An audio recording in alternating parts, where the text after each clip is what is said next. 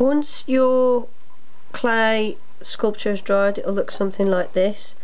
And it's now ready to use um, to make the mould. So put that to one side. And what you need is some regular children's play-doh. And just flatten it out roughly.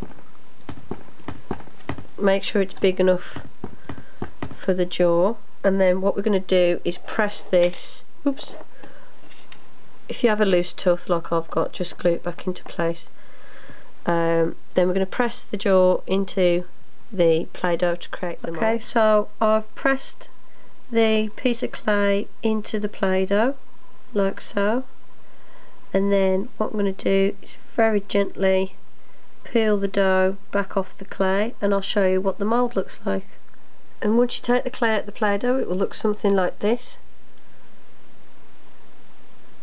And that's the mould ready for me to wow. use. Uh, that's it. That's how to use the clay sculpture to make the mould.